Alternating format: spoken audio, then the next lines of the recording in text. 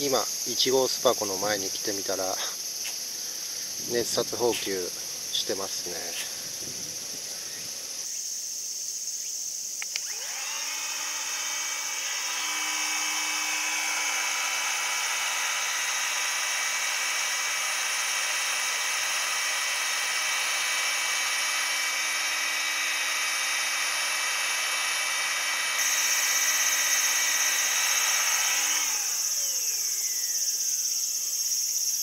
ほどけないの。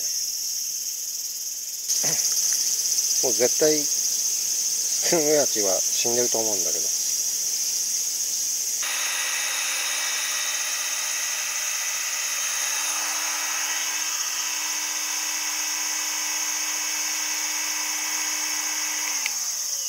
ん？黄色スンウヤチじゃないな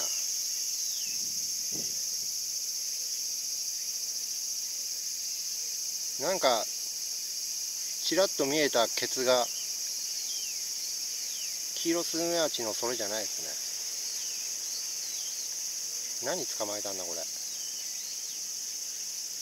イロスズメバチはね、まあ、オオスズメバチもですけどその耐えられる温度が確か40何度であの日本ミツバチの方がその暑さに対するなんていうんですか限界点が高いから熱殺放棄が成立するんですけどそのなんかよくわかんない虫はその論理が適用されてんのかな？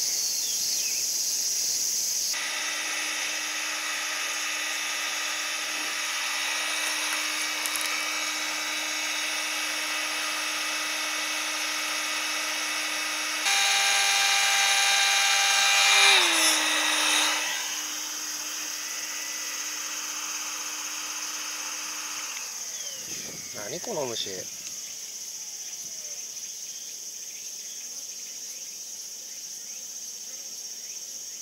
アブアブみたいな感じかな。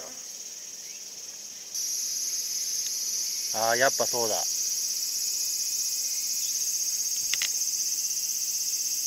まだ生きてる。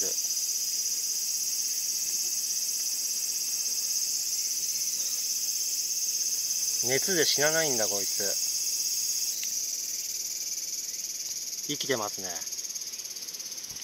だからミツバチが何分経ってもあのどかなかったんだね。しかも1匹ミツバチを捕まえてるってことはこいつもまあ肉食。肉食なんだろうね。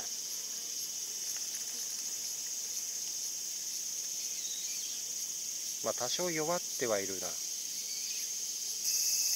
こいつです。